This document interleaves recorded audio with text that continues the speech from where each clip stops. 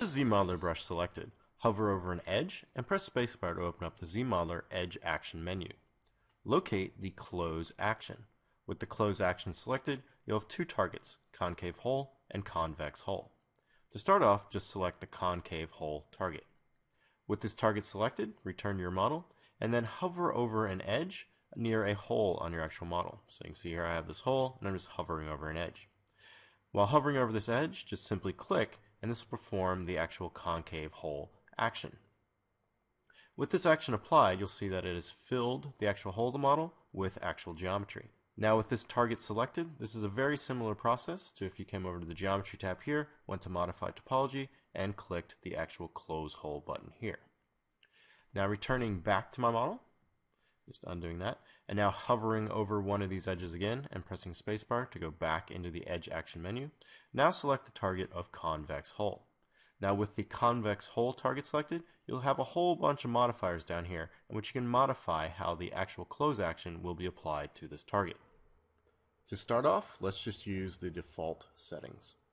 Now with those settings selected, if I click on that edge again, it's going to close that actual hole again, but this time it's going to generate polys around a center point. Now if I undo this and I click on that edge and now clicking and dragging, if I drag horizontally, I'm going to get an increased elevation on the actual polygons that were created. And if I drag in a vertical fashion, I'm going to get increased topology. So using this horizontal and vertical motion, you can come through and add this different kind of shape to that actual functionality that's closing that hole on your model.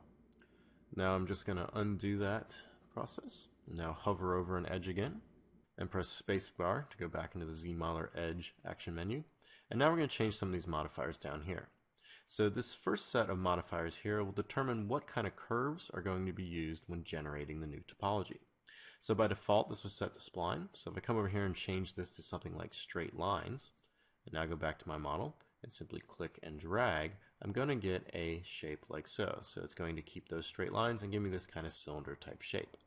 If I undo that and now hover over that edge again, and now change this to say something like small round corners, now when I actually click and drag out, you're going to notice I'm going to get these nice kind of small round corners at the very end of that actual shape.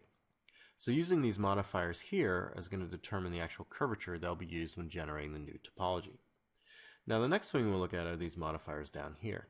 So these first ones, the actual converge options here are going to determine where the actual midpoint of this new topology is going to converge to. So converging to center is going to give you that nice center point.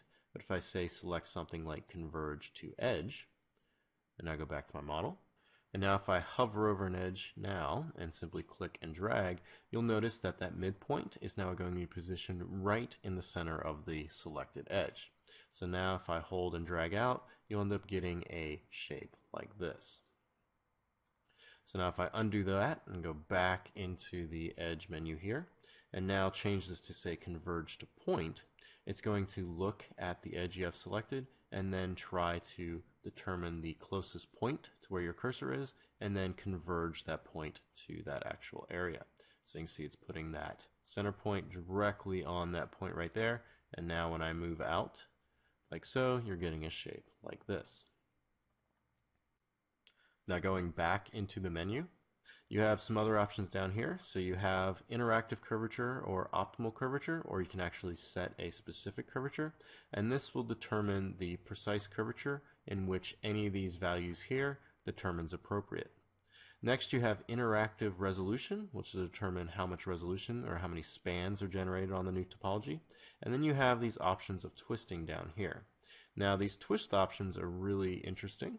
So if I come and just say select the 360 degree twist modifier here, and now come back to my hole and click and drag out, it's going to actually twist that geometry it creates.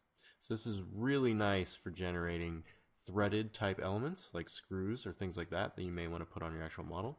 And you can also determine a specific value for the twist over here. So if you don't just want it to be 360, you can come over to the slider here and change the actual resolution of this twist here and then when you come back to your model and click and drag, it's now going to apply that value for that actual twist.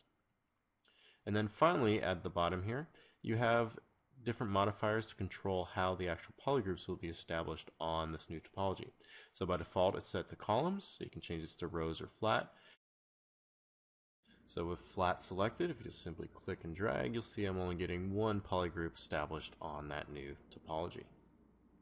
So using this close hole action along with other actions such as poly delete, you can come through and start making holes on your actual models and then come back in and using the close hole functionality to generate interesting shapes and designs on the surfaces of your model.